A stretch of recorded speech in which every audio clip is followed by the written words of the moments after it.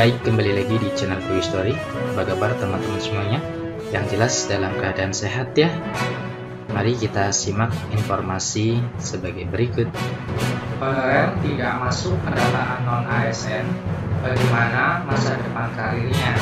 Ini kata BKN.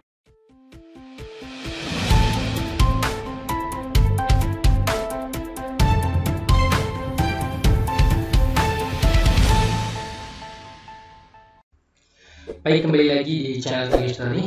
Kali ini kita akan memberikan informasi update, informasi terbaru seputar tenaga honorer.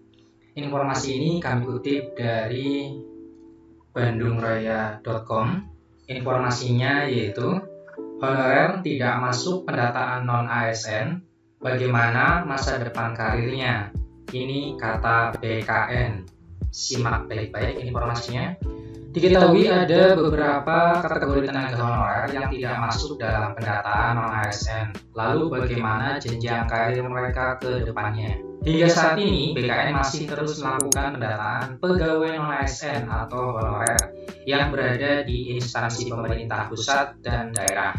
Adapun batas waktu pendataan honorer hanya sampai pada 31 Oktober 2022. Namun, hingga kini belum semua honorer masuk database BKN. Atas dasar itu, seluruh instansi pemerintah pun diminta mempercepat pendataan honorer. Pendataan non-ASN dilakukan melalui laman pendataan non-asn.bkn.go.id. Perlu diingat, pendataan honorer ini bukan untuk pengangkatan menjadi PNS ataupun P3K 2022. Di samping itu, tidak semua pegawai non-ASN yang bekerja di instansi pemerintah bisa masuk dalam pendataan. Ini syarat pendaftaran pendataan non-ASN 2022. 1. Masih aktif bekerja di instansi pendaftar non-ASN. 2. Mendapatkan honor dengan mekanisme pembayaran langsung yang berasal dari APBN untuk instansi pusat dan APBD untuk instansi daerah. Bukan melalui mekanisme pengadaan barang dan jasa baik individu maupun pihak ketiga. Tiga diangkat paling rendah oleh pimpinan unit kerja. Yang keempat telah bekerja paling singkat satu tahun pada tanggal 31 Desember 2021. 5 berusia paling rendah 20 tahun dan paling tinggi 56 tahun pada 31 Desember 2021.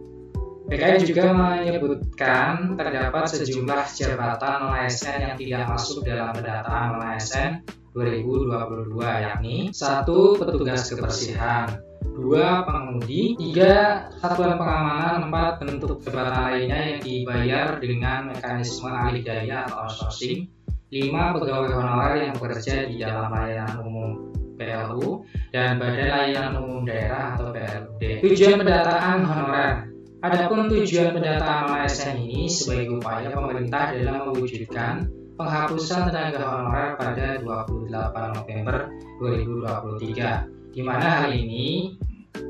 Di mana hal itu berdasarkan peraturan pemerintah nomor 49 tahun 2019 status kepegawaian di lingkungan instansi pemerintah hanya terdiri dari dua jenis yaitu pegawai negeri sipil atau PNS dan pegawai pemerintah dengan perjanjian kerja atau P3K. Pendataan ASN 2022 berdasarkan regulasi tersebut dilakukan untuk mewujudkan kejelasan status karir dan kejelasan pegawai di instansi pemerintahan.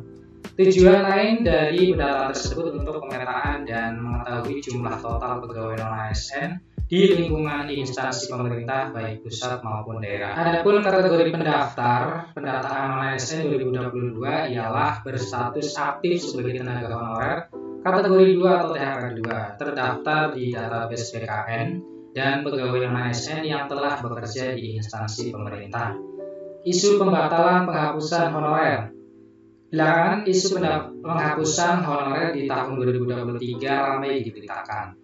Penghapusan honorer ini merupakan bagian dari langkah pemerintah untuk membangun ASN yang profesional.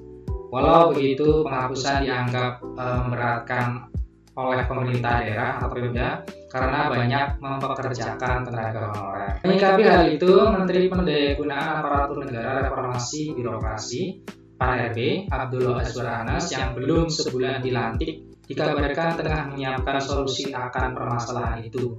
Kata Anas, pemerintah daerah boleh merekrut tenaga honorer baru hingga masa jabatan kepala daerahnya berakhir sebagaimana dihimpun dari kanal YouTube Info Harian Guru dan ASN. Namun solusi ini belum ditetapkan secara resmi, masih dalam tahap pembahasan lebih lanjut. Tiga honorer ini bakal dialihkan jadi outsourcing Tiga tenaga honorer kategori ini tidak bisa diangkat menjadi pegawai negeri sipil atau PNS ataupun pegawai pemerintah dengan perjanjian kerja atau PJK. Tiga jenis tenaga honorer itu adalah tenaga kebersihan, pengemudi atau sopir, dan petugas keamanan. Padahal selama ini mereka bekerja di sejumlah instansi pemerintahan pusat maupun daerah dengan status sebagai tenaga honorer. Kebijakan ini tertuang dalam surat keputusan Kementerian Pan RB nomor 185 garing A TSR 02.03 garing 2022 tentang status kepegawaian di lingkungan instansi pemerintah pusat dan pemerintah daerah. Direktur Bidang Sistem Informasi Kepegawaian BKN Suharmin mengatakan beberapa jabatan ASN seperti pengemudi, tenaga kebersihan, dan tenaga pengamanan itu diharapkan sudah bisa dialihkan menjadi tenaga ahli daya atau outsourcing dan bukan merupakan tenaga non ASN. Demikian lima tenaga honorer yang tidak masuk dalam pendataan non ASN di antaranya petugas kebersihan, tenaga pengamanan, pengemudi, bentuk jabatan lainnya yang dibayarkan dengan mekanisme alih daya atau outsourcing serta pegawai honorer yang bekerja di Badan Layanan Umum dan Badan Layanan Umum Daerah. Demikian informasi yang bisa kami share, semoga bermanfaat, tetap semangat dan optimis, selalu berpikir positif. Terima kasih atas perhatiannya. See you next time. Assalamualaikum warahmatullahi wabarakatuh.